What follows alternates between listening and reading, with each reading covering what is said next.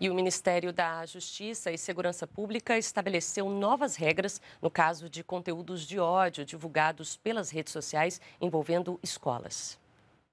A portaria do Ministério da Justiça e Segurança Pública traz medidas para reforçar a segurança nas escolas e inclui a responsabilidade das plataformas de redes sociais na disseminação das ameaças. Um regramento claro de como combater condutas a partir da responsabilização das empresas. A portaria determina que as próprias redes sociais avaliem e informem os riscos de acesso de crianças e adolescentes a conteúdos de violência e informem quais são os meios de moderação e os termos de uso adotados.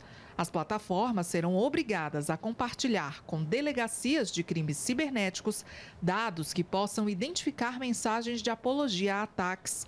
Também estão proibidas de aceitar novos perfis a partir de endereços que já tenham feito apologia ou incitação a crimes contra escolas e terão até duas horas de prazo para retirarem conteúdo considerado ilícito. As redes sociais que não retirarem o conteúdo ilícito estarão sujeitas a multas de até 12 milhões de reais e podem ter as atividades suspensas.